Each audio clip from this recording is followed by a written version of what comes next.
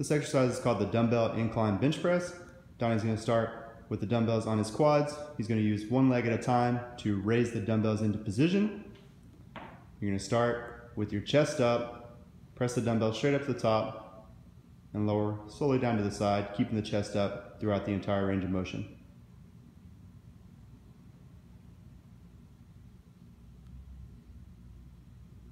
Perfect.